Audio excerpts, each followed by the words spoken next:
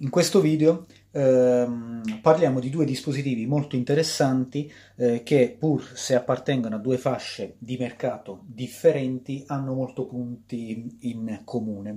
Samsung M30S eh, lanciato a settembre eh, di quest'anno a 259 euro dal canale ufficiale Samsung e come rivenditore anche Amazon, il prezzo più basso lo ha raggiunto nella settimana del Black Friday con 229 euro. Uh, spesi uh, piuttosto bene viste le caratteristiche che possiede. Dall'altra parte il Realme 5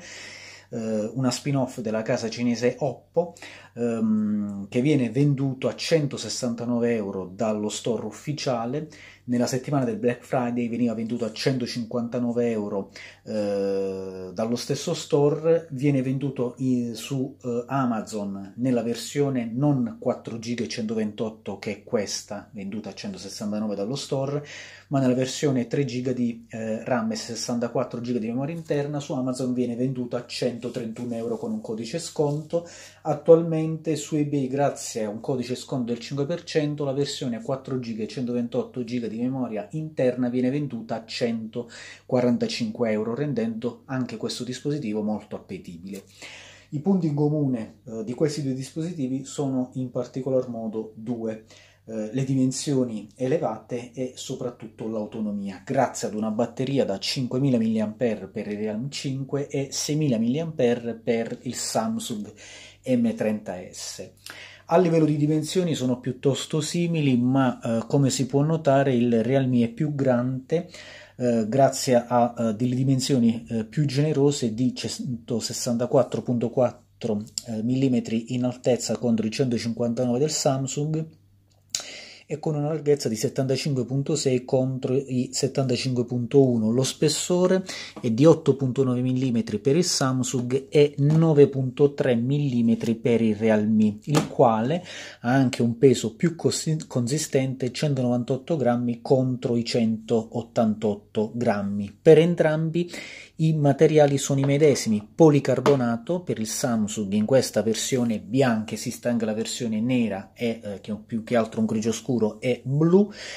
um, sotto la luce diretta del sole ha dei giochi di luce ma in questa versione bianca si notano meno. La particolarità della, eh, di questa colorazione bianca è quella di trattenere meno le impronte. Il policarbonato è presente sia sulla scocca che lungo tutto quanto il profilo. È da una parte un materiale non nobile come il vetro o l'alluminio ma eh, anche se si graffia facilmente in caso di cadute non si va a rompere come il vetro. Dall'altra parte abbiamo un una struttura sempre in policarbonato con una serie di poligoni, ehm, di giochi di poligoni con dei giochi di colori. In questa colorazione blu esistono due colorazioni per il Realme 5, blu e purple in questa colorazione blu i giochi di colore si notano maggiormente rispetto al Samsung e anche qui abbiamo una struttura completamente in policarbonato così come il profilo laterale, policarbonato che eh, a livello di qualità è medesimo a quello del Samsung, non noto differenze particolari fra i due, ma in mano eh, sembra che sia leggermente più solido il Realme eh, rispetto al Samsung. Differenza poi eh, sostanziale oltre alle dimensioni anche come sono ehm, collocati i tasti, eh, visto che eh, sul Samsung sul lato destro troviamo il bilanciere del volume in un unico tasto il tasto di accensione e spegnimento, mentre invece sul lato destro del Realme troviamo solamente il eh, tasto di accensione. Sul lato sinistro per il Realme troviamo il eh, forellino per l'inserimento delle due nano SIM e della micro SD. Ehm, mentre invece su, eh, poi troviamo anche il bilanciere del volume eh, in due tasti separati. Sul lato sinistro del Samsung invece troviamo solamente il pin per inserire le due nanoSIM più l'espansione di memoria, quindi eh, a livello di dual SIM sono entrambi completi essendo dual SIM eh, senza rinunciare quindi alla doppia SIM e nemmeno all'espansione di memoria, quindi un carrellino a tre posti per entrambi. Sul, mm, in alto abbiamo nulla per il Realme, mentre invece abbiamo nel caso del Samsung il secondo uh, volume per la soppressione dei rumori, in basso sul Samsung invece abbiamo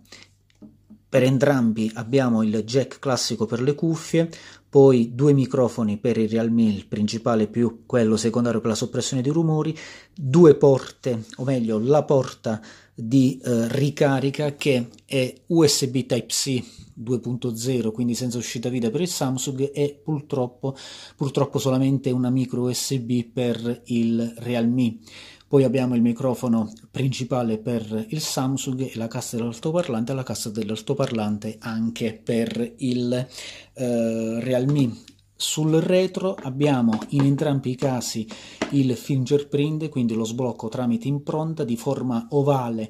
per il Samsung circolare per il Realme entrambi sono disposti piuttosto in alto e sono difficili da individuare dato che sono disposte eh, praticamente a filo con la scocca e c'è solamente un piccolo rialzo che si nota poco nel Samsung e anche per il Realme. Per quanto riguarda le fotocamere abbiamo un sistema a 4 fotocamere per il Realme disposte a semaforo più doppio flash LED, quindi con doppia tonalità, e, singolo flash LED, quindi ad una singola tonalità per il Samsung e tre fotocamere disposte in questo rettangolino nero, scritte per entrambi e eh, caratteristiche c'è per entrambi in basso. Nella parte frontale invece abbiamo in entrambi i casi un notch a goccia, poi abbiamo il sensore di prossimità di luminosità per il Realme e il sensore di prossimità per il Samsung. A differenza del Realme manca il sensore di luminosità visto che la luminosità viene eh, attuata tramite la fotocamera anteriore, eh, quindi eh, è la fotocamera anteriore che gestisce eh, sulla base della luminosità esterna dell'ambiente la luminosità in automatico del display. Io l'ho disattivata perché ho notato che comunque a livello di consumi di batteria questa funzione eh, con eh, la luminosità adattiva andava a consumare una percentuale di batteria piuttosto elevata. In mano eh, si tengono entrambi bene, sicuramente il Samsung si tiene meglio viste le sue dimensioni più compatte, hanno entrambi un profilo arrotondato con bordi quindi non taglienti, ma eh, il Realme come è possibile vedere ha anche una eh, fotocamera eh, diciamo più sporgente, quindi le fotocamere sono più sporgenti, ciò significa che su di un piano orizzontale tende un po' a ballare a differenza del Samsung che non balla visto che le fotocamere sono disposte completamente a filo, quindi preferisco come ha Samsung ingegnerizzato questa caratteristica rispetto al Realme. Um, ovviamente per entrambi è necessario comunque munirsi di una cover perché uh, le uh, due uh, back cover dei due dispositivi vanno a graffiarsi essendo in plastica facilmente anche se poggiate semplicemente sul ripiano. Nel frattempo che accendiamo i due dispositivi andiamo anche ad analizzare in questo modo chi si avvia prima. Um, un'altra differenza sostanziale sta anche nelle, eh, come vedremo dopo una volta accesi, nelle eh, superfici laterali adottate da entrambi i dispositivi, quindi eh, le eh, cornici sono leggermente differenti. Abbiamo il Samsung intanto si si è acceso leggermente prima. Abbiamo per entrambi delle cornici eh, laterali e eh, quella superiore per il Realme piuttosto simmetriche e un mento abbastanza evidente.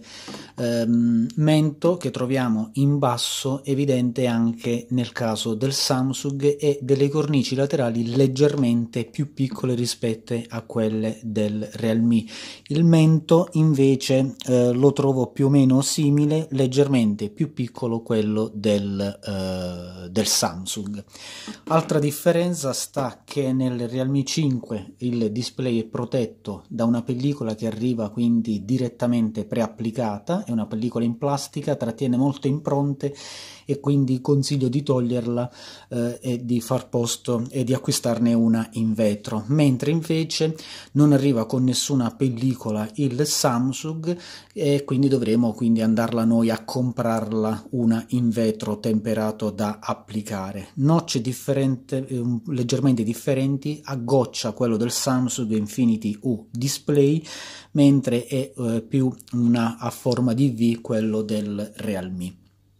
Concludiamo questa prima parte del videoconfronto facendo eh, riferimento alle due interfacce e alle informazioni sul telefono eh, in particolare abbiamo per il Samsung la versione di Android 9.0 con la One UI 1.5 che ha qualche piccola differenza rispetto alla vecchia versione One UI 1.0 1.1 che era presente per esempio nei vari A70 M20 a seguito dell'aggiornamento A50 eccetera. Il Realme risponde con la versione di Android sempre 9.0 e con la versione della Color OS 6.0.1 eh, le patch di sicurezza per i Realme sono più aggiornati, eh, sono presenti al 5 ottobre, ho ehm, aggiornato manualmente, come ho fatto vedere eh, nell'ultimo video, il Realme, eh, attra- ehm, arrivando alla versione 11 a 18 che ha portato una piccola feature riguardante la fotocamera, ma eh, hanno rimasto invariato le patch di sicurezza, eh, peggio il Samsung che da quanto è uscito è rimasto ancora con le patch di sicurezza di, del primo agosto 2019, visto che tutti i fratelli più eh, maggiori della serie A, ma anche le, della serie S, hanno comunque ricevuto le patch di sicurezza addirittura di novembre, qui abbiamo ancora le patch di sicurezza di agosto e questa è sicuramente una pecca del dispositivo.